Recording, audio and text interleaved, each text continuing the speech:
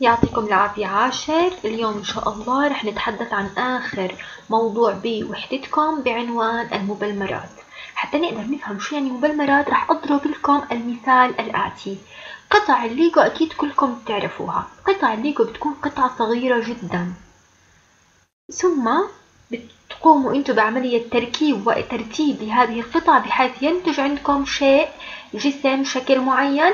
أكبر حجم من هذه القطع. فأنتم من هذه القطع الصغيرة قطع الليجو الصغيرة قدرتوا تكونوا جسم أكبر له شكل مختلف وله خصائص آه، معينة لهذا الشكل من هذه القطع الصغيرة.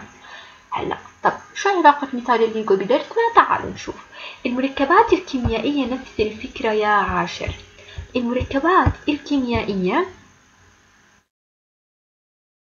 بتكون بعض المركبات آه، جزيئات صغيرة جدا ذات كتل جزيئية صغيرة جدا.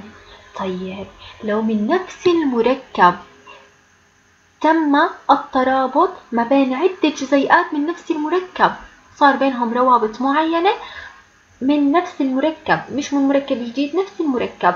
ترابطوا مع بعض بس يكون طبعا عدد الجزيئات كبير ممكن يوصل مية أكثر من مية أكثر من مية جزيء ترابطوا مع بعض راح يكونوا عندي جزيئات أكبر حجما من هذا الجزيء. راح أعطيكم مثال. مثال آه لو أخذنا آه الجلوكوز سكر الجلوكوز. صيغته الكيميائية T6H12O6 هذا عبارة عن جزيء جلوكوز اللي هو مركب الجلوكوز طبعا هو رح يكون كتلته آه، صغيرة جدا آه، هو عبارة عن جزيئات صغيرة. لو جبنا هذا الجلوكوز c 6 H12O6 جبنا 100 أو 200 جزيء منه. وهدول 100 أو 200 جزيء ترابطوا مع بعض. شو بتتوقعوا يصير؟ رح يكون عندي جزيئات عملاقة من آه، سكر الجلوكوز طبعا هلأ رح رح ندرس ما هي المادة اللي رح تتكون من هاي الرابطة. ولكن الجزيء الكبير يلي كونه جزيئات الجلوكوز الصغيرة مش ترابطت مع بعض وكون جزيء, جزيء كبير هذا الجزيء الكبير شو بسميه؟ بسميها مبلمرات. بسميها مبلمرات. المبلمرات بتشبه الجسم الكبير اللي بنيتوه من قطع الليجو. متذكرين مثال الليجو اللي حكيناه قبل شوي. اذا المبلمرات بتشبه الجسم الكبير اللي بنيتوه من قطع الليجو. لماذا؟ لأنها تكونت من قطع صغيره الجسم الكبير اللي بنيتوه من قطع الليجو بتكون من قطع ليجو صغيرة. والمبلمرات اللي هلأ حكينا عنها تكونت من مركبات كيميائية صغيرة جزيئات كيميائية صغيرة فأنتجت عندي مركب أكبر آه آه كتلة. تمام؟ هذا هو مفهوم المبلمرات طيب المركب الصغير اللي اللي ترابطوا مع بعض المركب الواحد شو بسميه؟ بطلق عليه اسم المونيمر. المونيمر. المونيمر مثل قطع الليجو الصغيرة. طيب كمان مرة عشان نقدر نفهم الفكرة قطع الليجو الصغيرة والمركب اللي كتلته الجزيئية صغيرة تمام؟ بسميهم مونيمر تمام؟ هلا قطع الليجو الصغيرة رتبتهم فوق بعض وركبتهم فوق بعض كونوا عندي إشي كبير.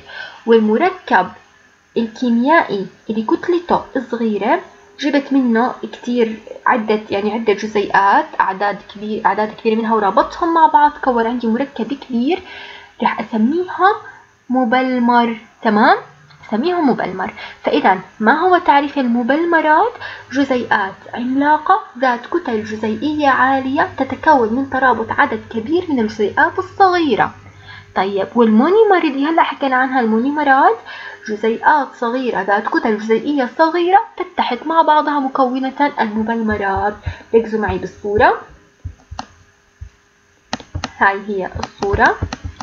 هذا جزيء. اسمه مونيمر. هذا الجزيء نفسه بيشبهه. كمان اسمه من نفس النوعية. اسمه مونيمر هذا جزيء بيشبهه اسمه مونيمر وهذا نفس الشيء. وهذا نفس الشيء. هدول المونيمر اتحدوا كلهم مع بعض عدة جزيئات من نفس المونيمر اتحدوا مع بعض. شو كونوا عندي؟ كونوا عندي بوليمر مبلمرات. تمام؟ اسم العملية البلمرة واسم المركب اللي كونه مبلمرات أو بوليمر. تمام؟ تعالوا نتعرف مع بعض على أنواع المبلمرات.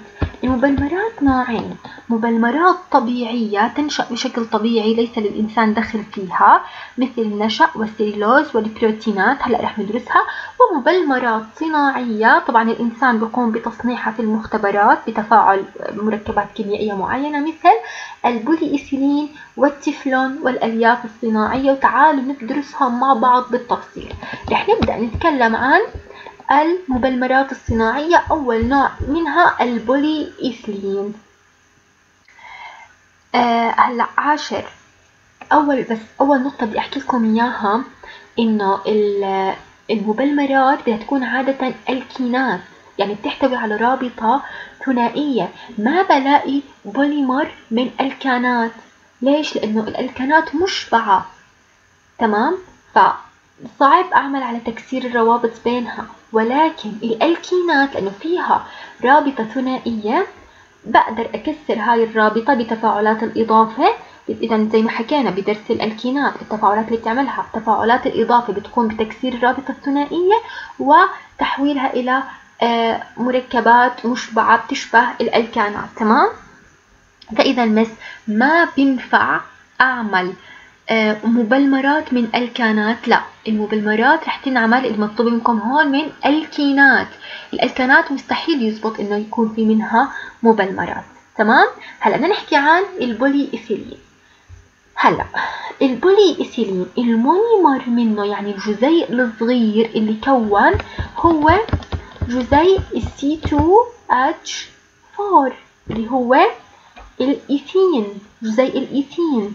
C2H4 طيب C2H4 مع C2H4 مع C2H4 صار في عندي 100 من C2H4 ترابطوا مع بعض شو راح يكونوا عندي؟ راح يكونوا عندي بوليمر جزيء كبير اسمه بولي إيثيلين يعني متعدد الإيثيلين تمام؟ إذا المونيمر منه إيثين اللي هو جزيء الإيثين C2H4 البوليمر البولي إيثيلين طب وين بستخدمه هذا؟ ماشي عملنا عملنا مبلمر جزيء اسمه بولي إيثيلين وين بيستخدموه؟ بيستخدموه في الصناعات الأغطية البلاستيك الأكياس الأكياس التعبئة الأكياس السوداء والأكياس البيضاء اللي بنجيب فيها إحنا الخبز والخضرة آه، الخراطيم المياه البربيش تبع المي آه، الأغطية البلاستيكية هاي كلها من مبلمر البولي إيثيلين تمام؟ طيب رح أروح للنوع الثاني المثال الثاني التفلون التفلون المونيمر منه الجزيء الصغير اسمه رباعي فلورو إيثين تمام؟ رباعي فلورو إيثين وهي صيغته الكيميائية. وبنلاحظ الرابطة الثنا الرابطة الثنائية الموجودة هون. تمام؟ إذا اسم المونيمر رباعي فلورو إيثين طيب البوليمر شو اسمه؟ البوليمر اسمه التفلون المادة اللي ناتجة من تفاعل كتير جزيئات من الفلوروإيثين الرباعي فلوروإيثين. كتير ترابطوا مع بعض أعدادهم 100 200 300 ألف أكتر. الفلورو رباعي فلوروإيثين كونوا مبلمر اسمه التفلون طب وين بستخدمه؟ بتعرفوا طناجر التيفال وقلايات التيفال اللي ماما بتستخدمهم اللي بتكون مطلية بطبقة سوداء عشان ما يلتصق فيها الطعام. هيها هون. هذا هو التفلون المكون من رباعي فلوروإيثين تمام؟ اللي هو المونيمر تبعه. وين بستخدمه أواني الطبخ فرش ملاعب التزلج وأواني حفظ المواد الكيميائية حتى ما يلتصق فيها الطعام. آخر آه مبلمر صناعي بدنا نحكي عنه الألياف الصناعية. الألياف الصناعية زي الخيوط الخيوط النايلون والخيوط الحريرية وخيوط كتيرة. تمام؟ طيب هلأ في نوع طبعا هي استخداماتها صناعة خيوط النيلون اللي بينتج منها آه، صناعات أخرى. الأقمشة وفرش الأسنان وخيوط الجراحة والجوارب وكثيرة طب أنتوا اللي مطلوب منكم آه، مثال بالكتاب عن نوع من أنواع الخيوط اسمه الأكريلاين تمام؟